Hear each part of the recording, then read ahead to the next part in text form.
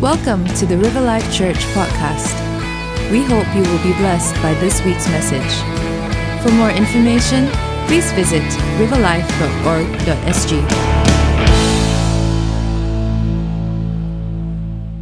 Good morning to you all. Glad to be back here again. And uh, this morning, I want to share about the power of testimonies. Uh, I just feel that this is really the, the message of the season right now, especially just now I saw you having this um, testimony tree. I thought this is so relevant. This is so relevant because this is what, what put, God put on my heart. And I, I asked uh, Pastor Lionel for permission to kind of share on this subject. I feel like this Christmas, we really need to be intentional about sharing our, our testimonies, to reach out with our testimonies. I want to begin with my testimony. I started out, now let's pray first. Can I ask you to pray with me? Father, we just want to commit this time to your hands. We ask, Lord, that you, you come by your Holy Spirit to touch everyone in a profound way. Lord, cause your truth to fall as good seeds on good grounds in our heart, Lord. That which will bear roots, that which will bear much fruit for you, for your kingdom's purpose, for your glory, for your delight, Lord.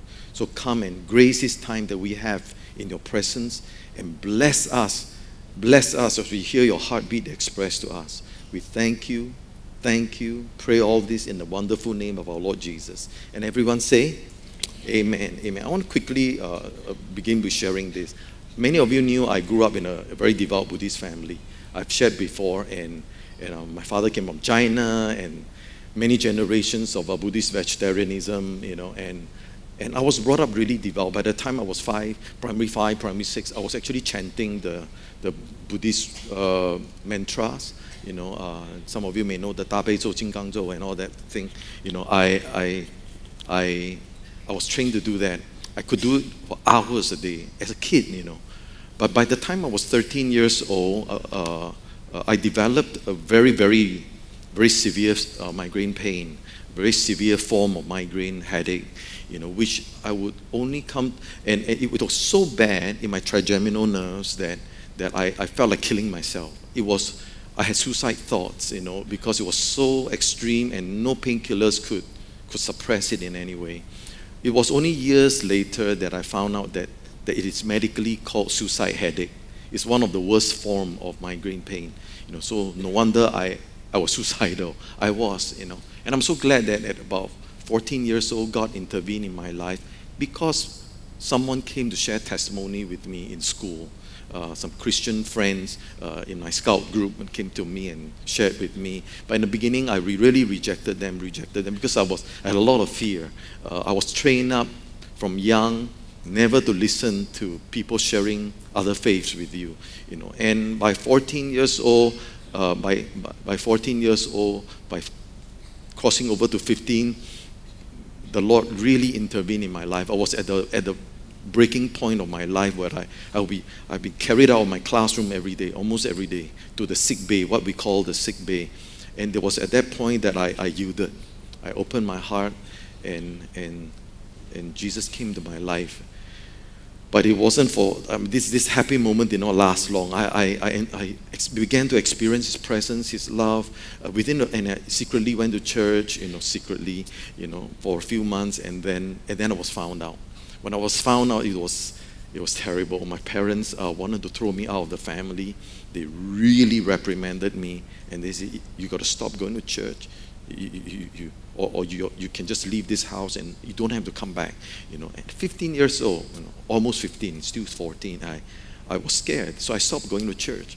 And you know what? What came after that would be five years of, of wasted life.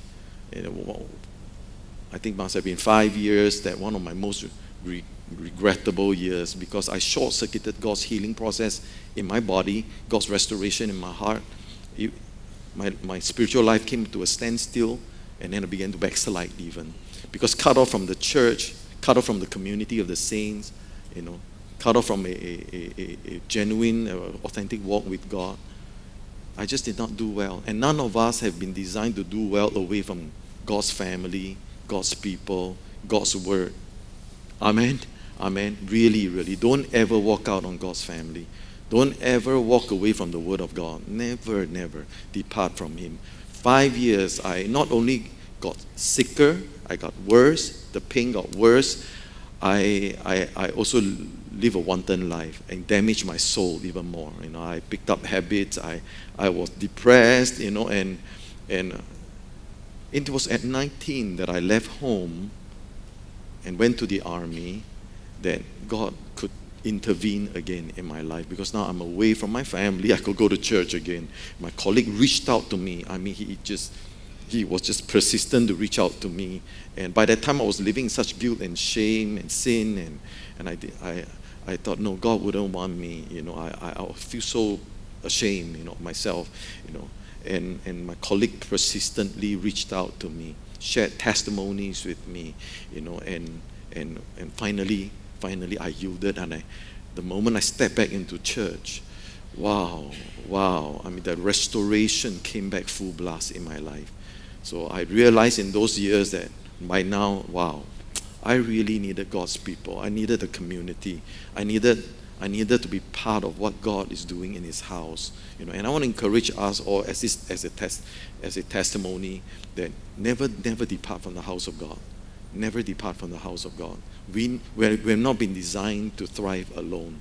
So, having come back to the church, I started to thrive. God started healing me. My pain started to diminish away. My severe, severe headache began to fade away. Uh, uh, and God started restoring my soul, restoring my heart. I was estranged from, my estranged from my family, and that was also the time when He began to restore me back with my family. He started healing me in every arena of my life. I now cannot imagine how we can even live life without God, you know. And so from that time onwards, I, I have been passionate to share the faith with people. Especially, especially in the beginning, I did not have much biblical knowledge, but that did not stop me from wanting to share my testimonies. I would share testimony with people enthusiastically, sincerely of what God has done in my life, and especially how He has healed me and delivered me from the suicide headache. You know, and and you know what happened as an outcome? Every time I share testimonies, people get encouraged. People were getting saved. People were getting reconciled with God. Backslidden Christian come back to Jesus. You know, people got healed when they hear testimonies. Testimonies is powerful because it creates faith in people's heart to believe that, wow, if God does that for you, God can do that for me too. And so people get saved from, I can remember, as far as I can remember, from the onset of, of, of my intentionally sharing tes- testimonies with people. I was already seeing people getting born again, people getting saved, getting reconciled with God, backslidden Christian come home, sick people say, then, then, then you mean you mean God can also heal me too? Can you pray for me? Uh, I did not know how, I, so I thought I did not know how to pray, but okay, I'll pray for you. And people get, get healed, you know. And, and so now 30 over years have transpired. I'm still sharing testimonies. In fact, right now I'm sharing testimonies. So this morning I want to share with us about testimonies. Testimonies are powerful. Testimonies not only bless believers and help strengthen their faith, testimonies bless pre believers and unbelievers to cause them to have faith in their heart too. That, wow, if God can do that in your life, God can do that in mine. And that's why I know that testimonies are powerful.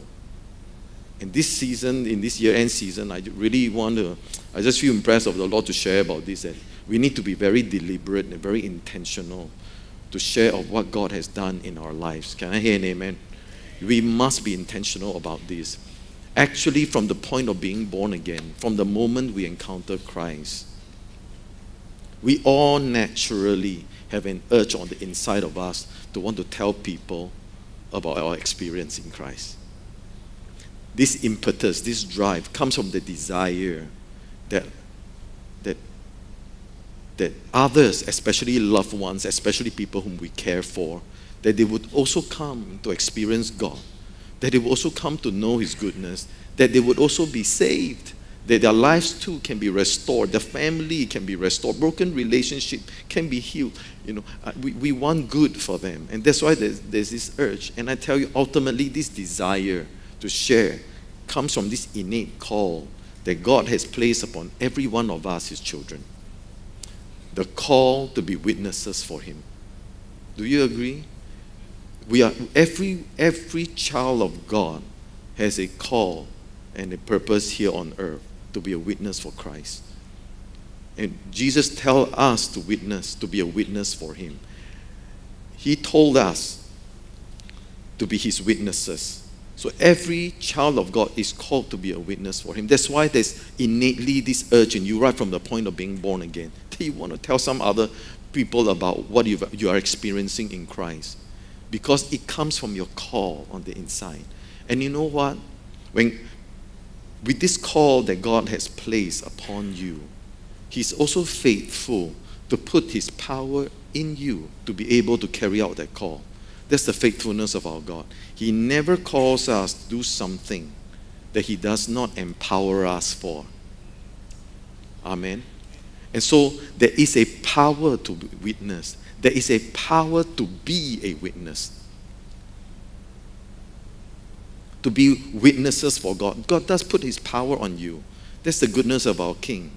He never sends us out on an assignment without the resources, without the empowerment that we need for, for the job at hand. So, having called us to be witnesses, God backs us up. He backs us up with His supernatural power. Then, in the house of God, in the Bible, we call it the anointing. There's an anointing. You know, anointing, I want to explain because some people who are new, you know, they thought, you know, annoying, you know. Yeah. Sometimes you're so used to the words in the house of God, you know, it's Christianese, you know, it's a language called Christianese, you know. Yeah. The Lord anoints you, the Lord anoints you, and uh, you know, those new people like, you ask the Lord to anoint you, why? You see that annoying? you know? Yeah. I want to say the anointing is a real substance. The anointing is the supernatural endowment from on high, the empowerment of the Holy Spirit that God puts on us to be able to be witnesses for Him. So let's examine some scriptures together so that you know what you've been called to, what you've been equipped with. I want to bring you to the book of Acts, chapter 1, verse 8. It says here, You will receive power when the Holy Spirit comes on you, and you will be my witnesses in Jerusalem and in, in all Judea and Samaria and to the ends of the earth. So, first, He puts a power in you, then He gives you the assignment go. And to do what? Very specifically, to be His witnesses. So, brothers and sisters, I want you to know there is a supernatural power supernatural because it came from the Holy Spirit. It's not conjured up by man, it cannot be produced by our human ability. There is a supernatural power latent in you, resident in you, that God has placed there for you to be able to be a powerful witness for Christ. For you to be an effective witness for Him. It is there. You may say, but really, I've never experienced that. That's because you've never witnessed. Because it flows only when you begin to tap on it, when you begin to tap on it, to share with someone about the reality of Christ in your life. Every time you testify to someone about God, this power is released out of you to begin to move on the listener's heart to bring about the revelation of God, to bring about his awareness of, of his or her need for God. It is supernatural. I want to testify this that witnessing is a supernatural venture. It is a supernatural venture. It is not a, a, a human conversation. There is a supernatural element with it because the scripture tells us the Holy Spirit works with us when we witness. The Holy Spirit is the one that empowers us. There's an anointing that He places on your word as you share Christ in your own unique, simple ways. So you must know that God is at work whenever you share, whenever you testify, whenever you share with someone about Jesus. Amen? Yeah. At least six, seven people are catching it now. I'm encouraged. Yeah. I say God works with you when you testify. That's why also you must know this that your confidence is not based on your qualifications, your eloquence, or lack of it, you know, uh, your, your uh, scholarly knowledge and all that. Your confidence is based on the fact that the Holy Spirit is in you, anointing your words. Amen. And that takes your eyes off of yourself that I'm not qualified. You know, who am I? Or I don't know enough scriptures. You know, and that's why I started out this time with a personal testimony. I can remember as far back as from right from the beginning when I started sharing testimonies, people were already getting saved, getting reconciled, getting healed. Because it, you're sharing of what is real in your life. You may not be an expert in the Bible yet, but you know what? You're an expert in your own life journey. You know what have happened in your life. And that's what God has called you to be a witness for. A witness is a witness is someone who has seen something, experienced something, and is retelling the story. Isn't that true? You know, you're an expert of your own life. You are you are an expert on the own journey that on your on the journey that you have taken and the experiences you have had with God that nobody can take away from can take away from you. Neither can anybody share on your behalf like the way you can. So if you don't share it, it's lost forever. And God's glory is covered up by you, by your reluctance to share the good things that He has done in your life. So you would have noticed by now, you know, from the many times I've ministered here on this uh, pulpit, that I often share testimonies, even when I'm teaching, or, or, or I use testimonies to elucidate, illustrate a truth, a concept, because testimonies illustrate how a truth has worked in someone's life. It's so it's really helpful. Testimonies help us to believe not only in the truth being shared, it also shows us how we might apply this truth in such a way that I can experience what, what the person who testifies have experienced. Testimonies create in me the faith to believe God for the same miracles you know that that person testified about. How this truth can bring about that outcome. Amen. So testimonies help believers in this sense, you know, even when we're teaching to believers. But when it comes to unbelievers, pre-believers, you know, personally, testimonies remain to be my main focus. Without sharing, without quoting scriptures, without, without using theology. Because people may differ with you on theology, they often do. People may reject your religious convictions and beliefs, but they cannot deny your personal experience of God. They can't negate, deny what you've experienced of His goodness, His reality, His power. That's why I find testimonies powerful. They are powerful. They bypass a person's uh, intellectual, logical defenses and all. You know, because it is your experience, and they cannot take that experience away from you. They cannot say, no, no, no, it cannot be. No, no, no, I, I refuse to believe that happens in your life. And so our Lord Jesus commanded us to be witnesses for Him, to, to testify to others about Him. Did He not? Did He not ask us to do that? Let's look at this scripture in Matthew chapter 24, verse 14. Our Lord Jesus commanded us this gospel of the kingdom shall be preached in the whole world as a as a testimony to all the nations and then the end will come. So this scripture reveals to us that testimony really is our basis for evangelism. What is evangelism? It is basically testimonies we testify, all that we share, we are wanting to testify to the truth that Jesus is real. Jesus is Lord. Jesus is the Son of God. He's the one, the, the Messiah who has come to bring salvation, to save us from our sins, and to reconcile us with God. That's the goal of all testimonies. As believers, God has called us to be witnesses to others about Him and to be able to, witnesses, what do they do? They give testimonies, like in the court of law right? To convince others that, that there's something real here that is happening in my life. You might like to consider that. That God is real. So we've been called to be witnesses, witnessing to the love, the reality, the power of God. And that's why evangelizing, evangelization is also called witnessing. Well, I've been out witnessing.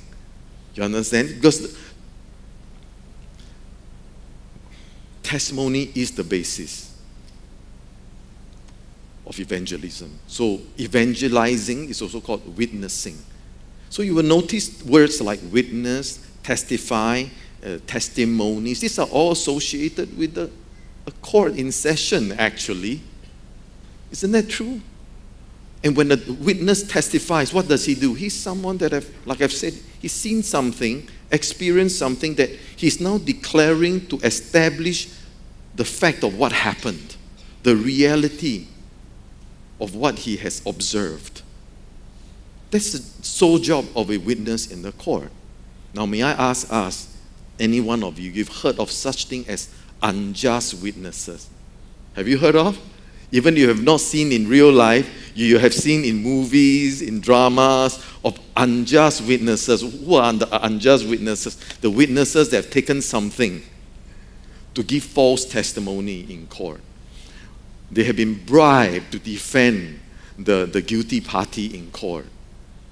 Or, or, or, or witnesses who have been intimidated you know, from speaking the truth to, to, for, and, and, and to defend the one, you know, for the advantage of the one, you know, that, that is guilty. Now, how do you feel of this kind of feel about this kind of unjust witnesses? I think any normal human being will feel uh, uh, an anger, a despise, you know, of unjust witnesses. Well, what about you? Have you been a, a just witness? Have you been truthful to share what God has done in your life? Because you have this role. And it's my holy mandate this morning to remind you God has called you to be a witness. And it is unjust for you to keep your mouth shut. It is unjust for you not to tell the truth of what God has done in your life. Isn't that true? It is unjust for us not to share about what God has done for us. So we are called to be witnesses for Christ. And from the moment we were born again, it is our duty, our responsibility to testify to other people about God. Actually, this is our, our greater role than our earthly jobs. You may be a lawyer, you may be a clerk, you may be a hawker, you may be a, an artist. But uh, there's a higher call than that. You're a witness for the kingdom, witness for our King Jesus. Amen. And God puts you in that job because in that environment is where He has assigned you to be a witness for Him to the people around you in their environment. We got to know that. And you, you and I, we must be faithful witnesses, righteous witnesses who will tell the truth, who will do our job as a witness. What does a witness do? He witnesses. Are you doing your job as a witness? All right. Now let's come to look at the book of Acts. I want us to look at some scriptures as our basis this morning. Acts chapter 10, verse 38. You know of Jesus of Nazareth, how God anointed him with the Holy Spirit and with power, and how he went about doing good and healing all who were oppressed by the devil. These were things they've seen and observed of what the Lord Jesus has done. For God was with him. We are witnesses of all the things he did. We witness by telling what we have observed of what our Lord has done. And he ordered us to preach to the people and solemnly to testify that this is the one who has been appointed by God as judge of the living and the dead. You will notice that the primary things that we witness about is what Jesus has been doing because what he does testifies to his identity. So the focus of our testimony is always on what Jesus is doing, what Jesus has done. Because that points us to the reality of him and his identity as our savior. You know, sometimes, you know, testimony sessions can, can go wrong in the church. I've observed before when people come up to testify and all they talk about is their achievement. You know, oh, I'm very good, no, I do this, you know, my company goes this big. At the end, praise the Lord. That's not testifying to his goodness. You're, you're, You're just bragging about yourself. You know, testimony, we all, our testimony always focuses on what Jesus is doing because what he does points to who he is. Amen. Let's go on. Of him, all the prophets bear witness that through his name, everyone who believes in him receives forgiveness of sins. Wow, that is closing the deal now, bringing us to the conclusion that look, he's the Savior. He's the one that saves you from sins. While Peter, now this is interesting, while Peter was still speaking these words, the Holy Spirit fell upon all those who were listening to the message. Do you know that whenever we testify for Christ as His witnesses, the Spirit of God moves on the listeners to reveal Christ them? Amen. So don't let the enemy intimidate you into silence. The devil knows every time you share Christ, something supernatural is taking place. The Holy Spirit moves upon human hearts to bring conviction, to bring realization for their need for, for, for the Savior. So I want to encourage us, brethren, share about G- what Jesus has done in your life. Especially in this year end season where, like what Pastor Ben said, where more people are open to, to hear about the Christmas story, the Christmas message, or to come to church more than ever before, you must lay hold of this season to be able to share your testimony. I want to give you, relate to you as a mandate from God. Share your testimony this season like never before. Like never before. Because testimonies testifies to his divinity. It testifies to his identity of being the Son of God, the Savior of the world. It is powerful and it's anointed of God every time you share. John chapter 10. Let's look at John chapter 10. Chapter 10, verse 25. Jesus answered them, I told you, and you do not believe.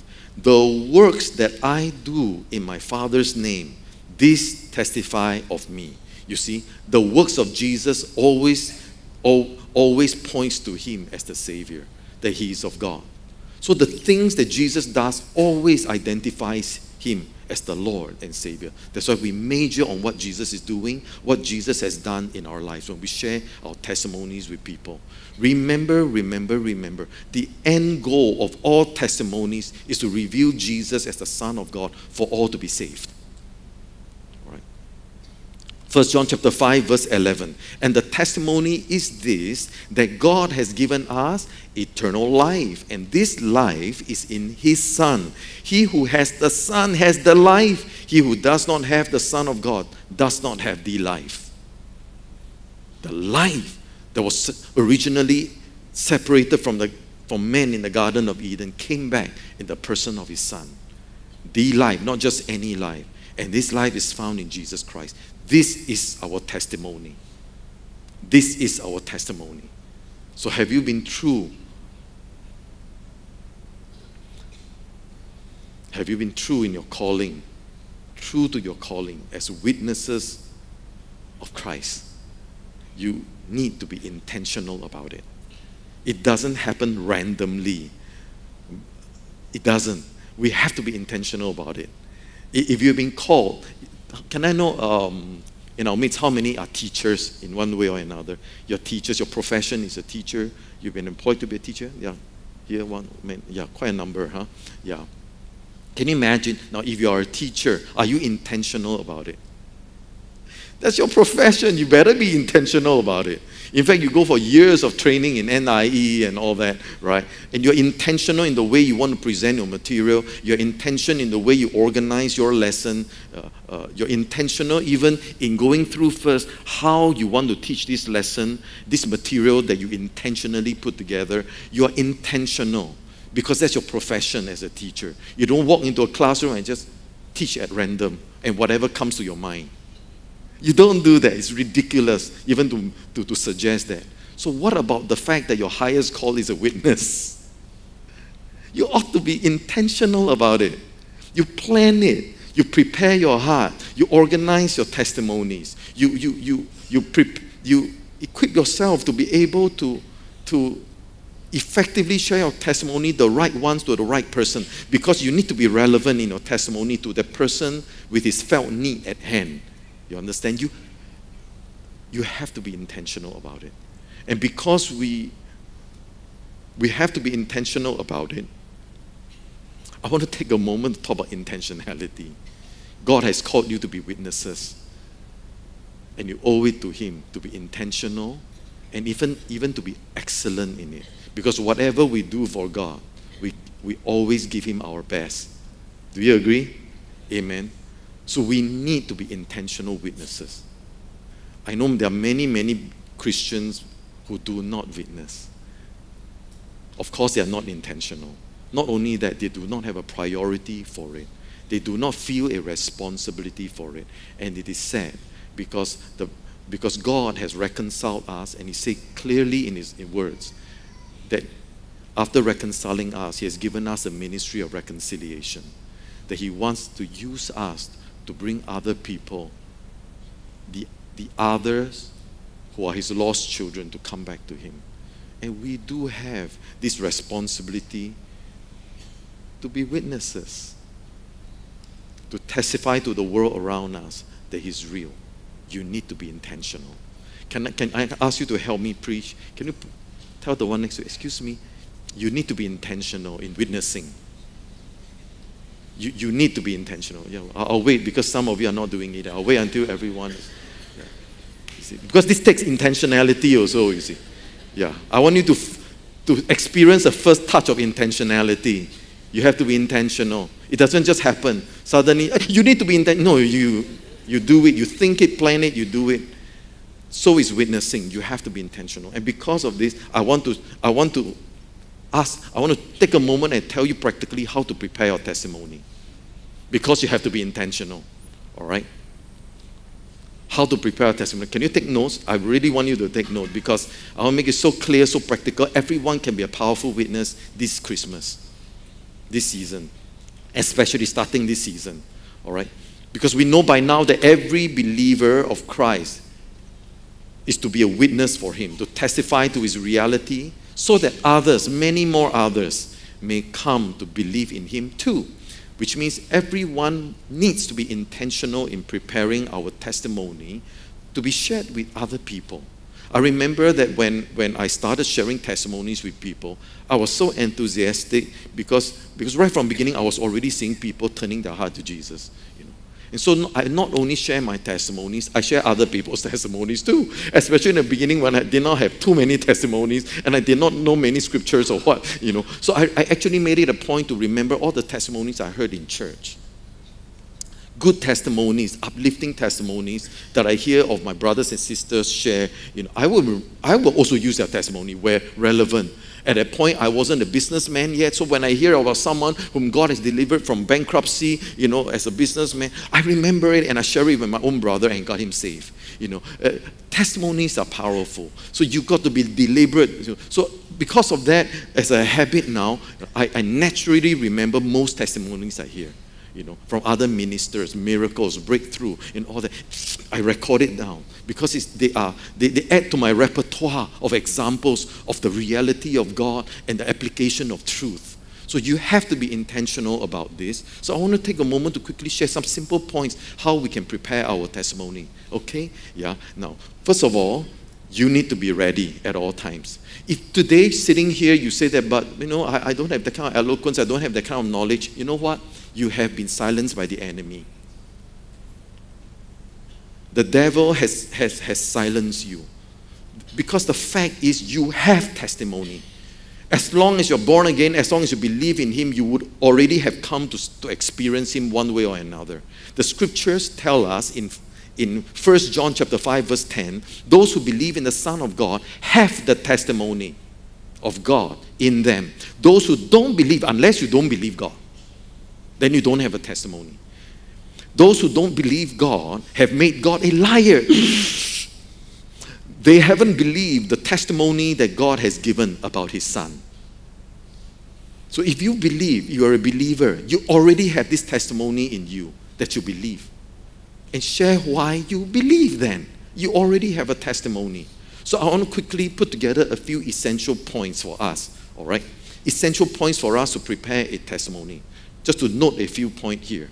Number one is this Your testimony is the story of how Christ has made a difference in your life primarily. Remember to tell of his workings, what he's, he's done in your life, how, how he delivered you out of darkness, put you into light. Let's look at this scripture 1 Peter 2 9. But you are the ones chosen by God, chosen for the high calling of priestly work, chosen to be a holy people, God's instruments to do His work and speak out for Him, to tell others of the night and day difference He made for you. The night and day difference He has made for you. So your testimony begins with sharing how Christ has made a difference in your life. So remember, this is the essence of witnessing. Witnessing. Simply sharing your personal experiences regarding the Lord. In the courtroom, you got to know the job of a witness. A witness isn't there to argue the case, he isn't there to prove the truth of that, of that subject at hand. He, he isn't there to press the judge for a verdict. That's not his job. That's the job of the attorney, the lawyer. There are lawyers here in our midst. They would say amen to that. Witness simply tell of what he saw, what she experienced. That is relevant to the case. That's why witnesses do not have to be experts. Although there are experts in court session, but they are minority. Notice that it doesn't take certain qualities to be a witness. In, in the court, there are the buitubai, there are the, you know, the hawker, the, the, the taxi drivers, the all walks of life, right, appears in court as witnesses because they, are, they witness when their experience is relevant to the case at hand. That's why you don't have to be an expert to be a witness because you're sharing, because you're the expert in your own life, as I said just now. So don't let that thought intimidate you. Oh, I'm not a Bible scholar. I'm, I don't have enough scriptures in me and all that. It would be helpful, but you know what? You simply witness. So Jesus says, you know, just now we, re- we read the scripture, you know, that you will receive power when the Holy Spirit comes on you and you will be my attorneys. He didn't say that. You will be my lawyers. You will argue a good case. No, he simply said, You will be my witnesses uncomplicated. Amen. Actually, I find that I find that you know, personal testimony is really often more effective than a sermon. It is. It is. Especially for pre-believers and unbelievers. You know why? Because pre-believers and unbelievers they often see us pastors or evangelists or people in the full time ministry, they see us as professional salesmen. And they have this certain defense when, when I take a taxi and if I straight out say I'm a pastor, you know, they, you know, yeah. So I often don't say that, you know, yeah. Before I, sh- I share the testimony or I, I, I, you know, share Christ with them. You know. pre-believers often see us pastors as professional salesmen but they see you as satisfied customer. Your testimony has carries more weight with them. You know, you are the customer. you understand what I'm saying? So you can touch people that I can never ever touch. It's true, isn't it? It's true. So it is your role to witness everywhere you go. All right, so know that, know that. So with that, it relates to the next point, which is that personal stories are easier to relate than principles, than, than spiritual thoughts, you know, religious principles. Personal stories are always engaging because people love stories. Stories capture our attention, stories lead us into that person's heart. Stories we can remember.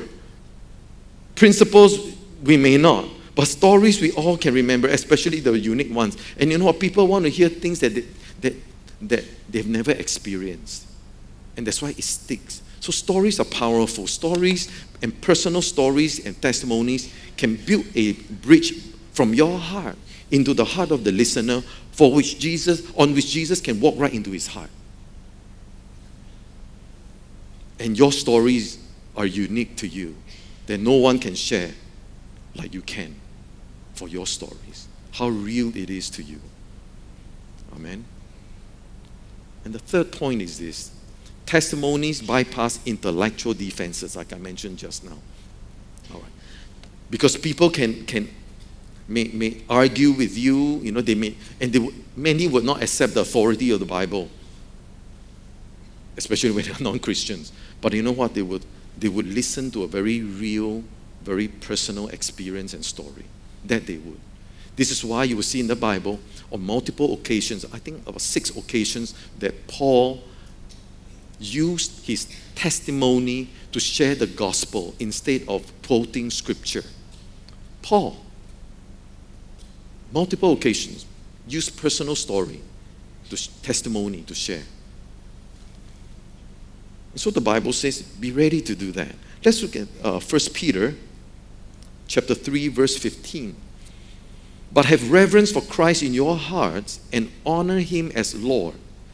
Be ready at all times to answer anyone who asks you to explain the hope you have in you. Be ready at all time to be able to answer.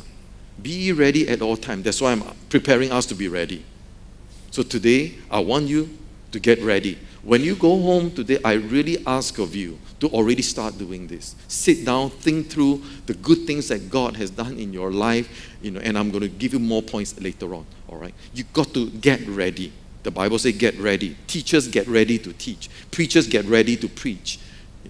A witness get ready to testify in court. To make his thought clear and cogent and succinct and effective, you know, you, you need to get ready. So, so your, the four points of your testimonies are this, all right? The four points are this. Very simple. You start with this. Four points, main points of your testimony. What my life was like before I met Jesus. How I came to realize that I needed Him. What happened? What jolted you or some an event in your life that caused you to realize that your need for Him? And, and then what did you do with that realization? How did you then commit your life to Jesus? Because you want them to know how to do it too. How they too can, can pray, how they too can get reconciled with God. All right, it is so simple. Every one of us can do that. If you're a believer, you have gone through all of this. And then, number four, the difference Jesus has made in my life. Simple, right? Now, what it is like, what He has done since. All right, these are the four main points of your testimonies. Now, I'm going to come back to the preparation of testimony. All right, now. And then, one more point. Other than that, the difference in all this that you just shared just now, uh, uh, about your salvation. These are your salvation story, right? Now, apart from this, you have other significant testimonies in your life.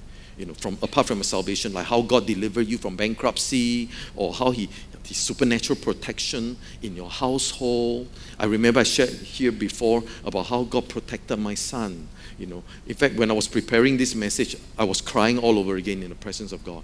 If not for God today, I, I, I have one son less some of you know, know that testimony. My, my second son, I wouldn't have him. In fact, not just my second son, my eldest son today would be a cripple if not for Jesus. Because when I came back from China, uh, uh, from being a missionary in China, you know, I, I went to buy a car. You know, and, and at the showroom, I went to collect my car. The, the, the, the sales lady opened up the bonnet and showed me the engine and all that.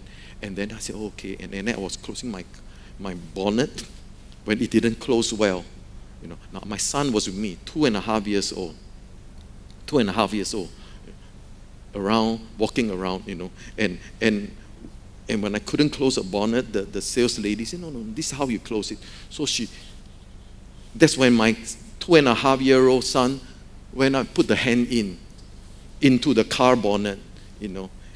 In, and that's when he, she slammed. Boom! And I turned around, I saw the hand went in, shut, and he got stuck there, you know, and the lady screamed. I mean, he was, she was supposed to open the bonnet, but she just screamed and screamed and paralyzed with fear, you know. And the, the showroom, in the showroom, all the people ran to look at what is happening. And I like, no one, and, and I went in, I got to search for how to open because it was new to me, the car, you know, and his hand was stuck, you know.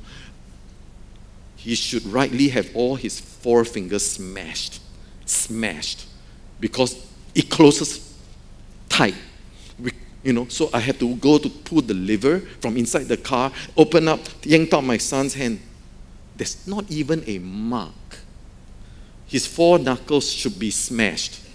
We all stood there in unbelief because we look at the, the gap is about two millimeter. And the way she slams it would have been less than that, you know. And there was not even a mark. So my son know that today he should be a cripple. He's, he should not have his four fingers, you know, but he has. That's a testimony. God's divine protection. There are other significant testimonies in your life that may not be about salvation, but they, uh, they can be powerful. My second son, when he was four years old, we were in, having a holiday in, in, in, in Malaysia. In, in the morning, we went down to the pool, my wife and nobody in the pool. And we took the two sons down and we were arranging our deck chairs and putting down our bags. The Holy Spirit shouted in my heart, Turn! And I turned, nothing. I mean, no one, you know. And I thought I saw a glimmer of something move in the pool at the opposite end. It's a big pool. I ran over there and I, my son was in there. He slipped away took the slide, went in, we heard nothing. The pool was this, this, his height was this. So he went down and he was at the bottom of the pool drinking water. I, that scene really seared into my, my heart. It's scary for me. Uh, it just I cannot describe it. You see your son at the bottom of the pool, you know, dying actually, you know, with, with this stunned look and drinking water at the bottom. I jumped in, yanked him out. This was my second son. If not for the Holy Spirit, I would have lost my son. It would have been a tragic holiday that, that, that year. I cannot imagine living life without God. Oh, the goodness of God, the reality of God. You need Jesus. I need Jesus. Testimonies, testimonies. You must be faithful to share of what God has done in your life. And you know what? When I recall all these testimonies, every time you share your testimonies, your heart gets soft all over again. You get encouraged all over again of God's hand upon your life. So you not only encourage people, you encourage yourself. Amen. Amen. And I'm sure right now, as I share, many of you, you start to recall the good things, the awesome things God have done in your life. And every time you have an experience of Him, you know, that's a testimony you should write down. And then you, you, you skillfully use a story where it is relevant for the need at hand when you are interacting with an unbeliever or with someone that you need to share with. Because different situations call for different testimonies. Amen? And so I, I have this very practical suggestion, you know, from personal experience. Prepare and organize your testimonies in, in, in different categories. And I find some of the categories that are very, very commonly relevant is about healing, for example. All right, note this. You know, if you have been healed before, you must share because many people are, are crying out for healing. You know, and your healing testimonies encourage your faith to believe God for it. In the area of healing, testimonies in the area of financial provision. Financial, how God has provided for you, how God delivered you out of bankruptcy and all of that. In regarding money, very, very relevant. You know, one of the most relevant, you know. And then eh, the third area is human relationship, relational restoration. You know, breakups and, and words of divorce and, and all that. And, and, you know that God has blessed you in this area or restored you in this area. It's so relevant, your testimonies. And they can find hope in God, you know, when you share your testimonies. And then the other areas, all the, all the you know, assorted testimony, protection, deliverance, God's stupendous blessing in your life. You know, get it organized. Be ready. Be excellent in what you do for Jesus. You know, and you find that if you're ready, He can use you even more, much more, much more. All right. And I want to close with some this some something very practical. You know, reinforce your testimonies with prayers. All right. If you because, like, for example, this year end, I'm going to ask of you to pray at the end of this session whom you will intentionally reach out. And once you have decided or the Holy Spirit have shown you who to reach out in this year end, I want you to reinforce it with prayer. That means pray for that person before you share. It makes a lot of difference. bathe that person with prayer, intercede for that person, that God, you will touch that person, soften his heart, you know, and, and, and show me how I can connect with this best friend again in my primary school or whatever. You know, you pray, you ask God, and then you strategize, you plan, and you reach out. And you already bathe that person with prayer. Prayer already, already softened that person's heart, conditioned him to be able to, to allow the seeds of truth to fall into his heart. Not only you pray before you now, this I say where possible is because there are many times you meet people on the street, there's no chance. You know, taxi driver, I've gotten so many taxi drivers say, you know, and, and, and in heaven there'll be many taxi drivers that come to me and ah come leh, what gong government government, li gong ya so ya so, you know, yeah, yeah. I, sorry. really, really. But you know what? There are those spontaneous times where you have no chance to pray. That's what I mean. But you know, those whom you're strategic about, you pray about, you know, you can pray for the person first. And you'll find that, wow, it makes a lot of difference. I find that prayer makes a lot of difference. Prayer before and prayer after. Prayer after the testimony. After you share, offer to pray for that person along the line of what you just testified about. Because, as I mentioned just now, when you pray, when you testify to someone, let's say about a, you know, this person just went through a financial calamity, and you have a story to share how God kept you from bankruptcy or delivered you out of bankruptcy or something. It's relevant, so you share the relevant testimony, right? When you share your testimony, as I shared just now, it creates a faith in that person's heart to want to believe God for the same miracle. So don't waste that after you share, where possible. Ask, can I pray for you? Most of the time, if your testimony is relevant, most of the time they will say, yes, please.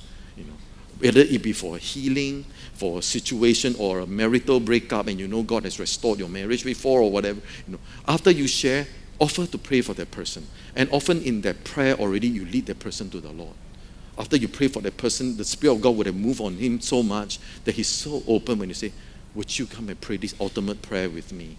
That God can come into your life and save you and restore your household. You know, I just did this just yesterday with a man who came to me and said, Would you pray for me? My wife is leaving me. You know, yeah. And with a prayer, you can lead him to the Lord. Amen. Very practical, very practical examples I want to share with us. So, be a doer of the word, not be do not be a hearer. So I really want to challenge you. If you can't do it by today, you can't do it anytime. You've got to respond to the truth immediately. So I want to, I want to, to, to ask of you today when you go home, do that. All right? Sit down and think through. God will remind you of the things He has done in your life. And you'll be so blessed when you recall God's goodness. And then you, you jot it down. You know, some of you don't have to write it down verbatim because that itself is a memory jolter. You know, it, it your memory to, be, to, to know your repertoire of testimonies you have that you must be faithful to deliver as a witness. All right, do that by today. Do that by today. I, I, I want to share with you this scripture now. I want to leave with you with this scripture. This is the call that God gave Apostle Paul on the road to Damascus. I believe that it applies to all of us, all of us children of God. And today I want to end with this scripture by pronouncing it over you as a reminder of why God has appeared to you in the first place. Has God appeared to you in your life and brought you back into His arms and to, be, to belong to Him? Well, it's for this reason. And this was what God told Paul, which is relevant to us, or which I want to speak over you. I have appeared to you for this purpose to make you a minister and a witness, both of the things which you have seen and of the things which I will yet reveal to you. And I want to remind you this is also God's word to you. You have been called by Him to be a witness of all the things that He has done, all the things you have seen, and all the things that He will yet reveal to you. Be reminded you are a witness for Him first, before even your profession on earth. Amen. So I want you to take a moment now and think what has God done in my life that I can tell someone about? Just think of one thought. Please work with me. I really feel an urgency about this. What's the one thing I can share? Even within a minute, I can share that one thing that I'm so thankful to God about. I'm sure everyone can think of something, right? I'm sure. Right now, be a doer of the word. I want you to turn to the one next to you in one minute. Surely you can. In one minute, tell this person of that one thing you can testify about Jesus and his goodness in your life. Now. One minute. Tell the one next to you the one thing. I will wait until everyone is doing it, all right? So that one minute for you may be 35 minutes for our waiting. So everyone, all right, turn to, one behind you. If there's no one beside you, turn to one beside. Tell someone one minute. Surely you can do that for Jesus. Surely you can do that for Jesus. The one thing you surely can give thanks for.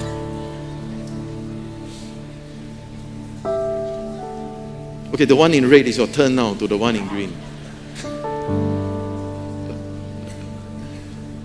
I want you to know you can do it.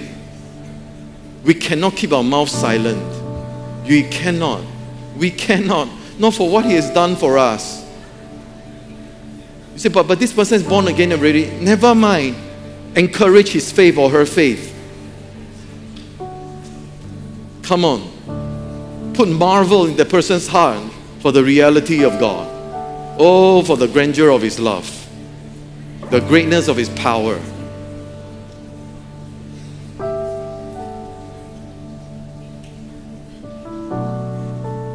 Let's all rise.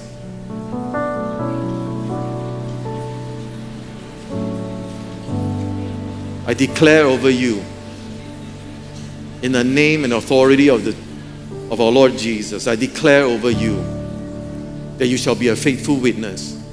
I declare over you, there'll be no unjust witness in this house who will keep your mouth silent of what God has done in your life. I declare over you that God will take away cowardice, God will take away unfaithfulness. God takes away the fear of men that ensnare you, the intimidation of the devil. I, I declare over you freedom. He whom the Son sets free is truly free. Free from the fear of man, free from the intimidation of the devil. You will be a witness for Jesus.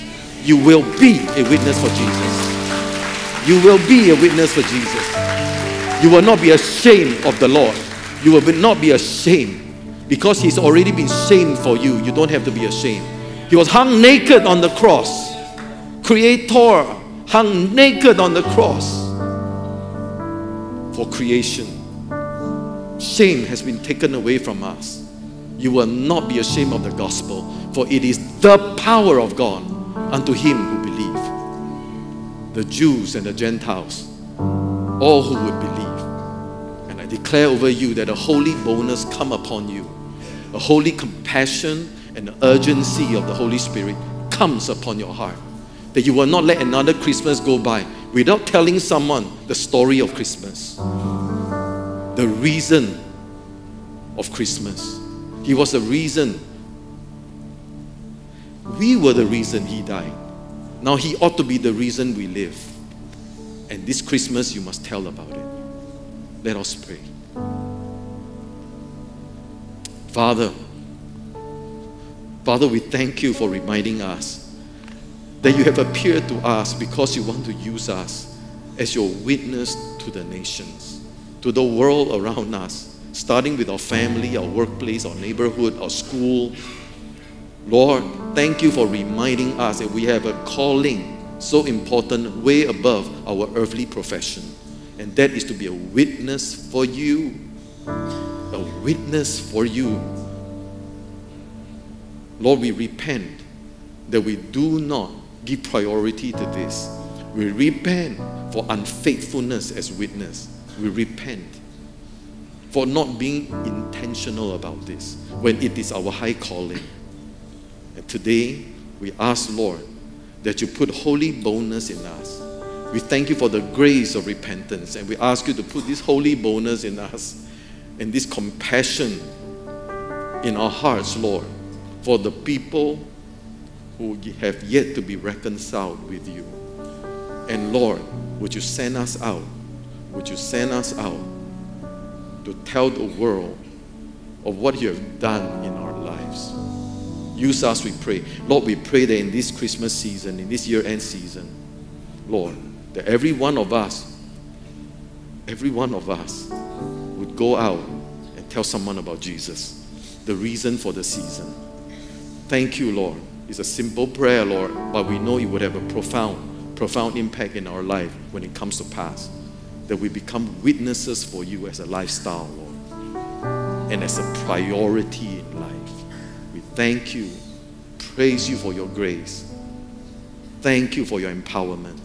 We shall be good steward of the power that you put within us to be witnesses for, for you from in Singapore and to all the regions beyond. And we declare by faith we will live true, we will live true to this call that you have placed upon us. In Jesus' name we agree and pray. Amen. Amen. Amen. Thank you for listening to the River Life Church podcast. If you would like more information on who we are, please visit riverlife.org.sg